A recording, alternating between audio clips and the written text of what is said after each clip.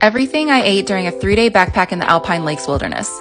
First, I had some Cheez Its during the hike in, and then for dinner the first night, we had mapo tofu with rice, roasted seaweed, and kkaennip, which are marinated perilla leaves.